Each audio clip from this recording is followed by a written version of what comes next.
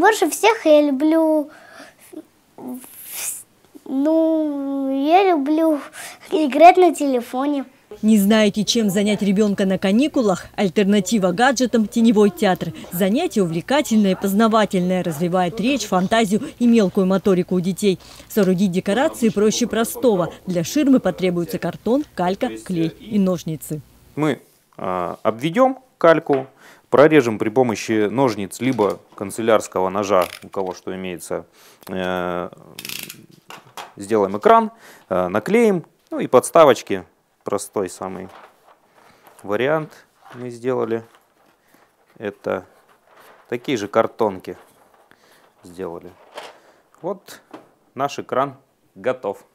Фигурки делают из картона. Их вырезают по трафарету или придумывают сами. Семья Шевченко решила оживить сказку «Репка». Чтобы персонажи двигались, к картону приклеили деревянные шпажки. Но для волшебства этого мало. Друзья актеров – темнота и настольная лампа с рассеянным светом. Включаем свет, потом сказка начинается.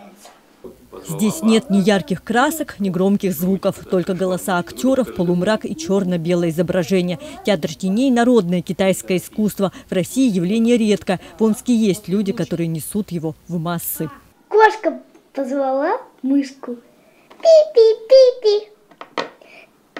Тянут, потянут и вытянули репку.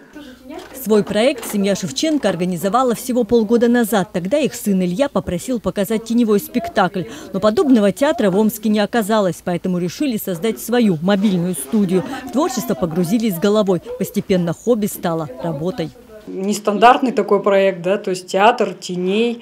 Вот мы до этого ранее не соприкасались с таким вообще видом деятельности, вот, но это, это очень интересно. Поэтому э, и страшно, и хочется.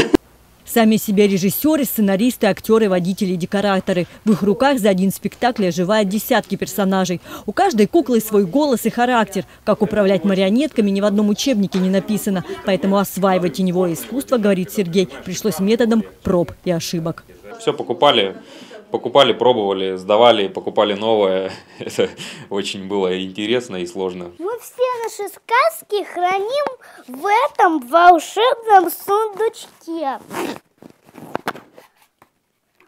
Да это же Сюшка богатырская.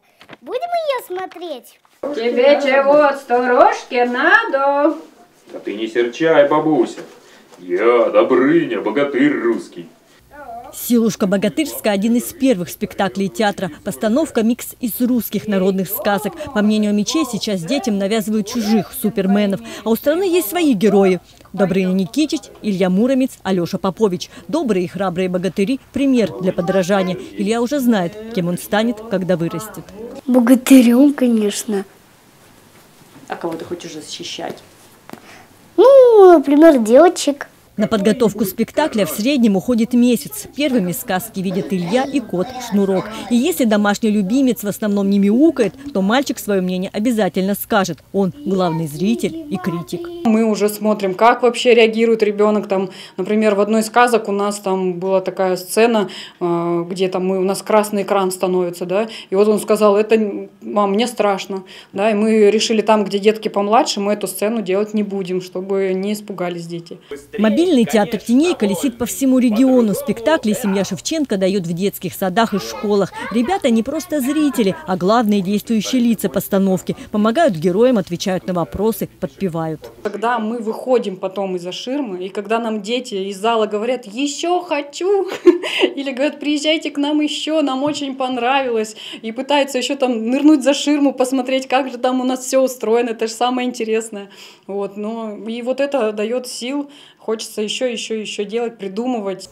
Семья Шевченко мечтает об расширении, о том, что у них будет свой стационарный театр, своя труппа. В ближайших планах постановка спектакля для взрослых. Оказывается, те, кто давно уже вышел из детского возраста, тоже верят в сказку и волшебство.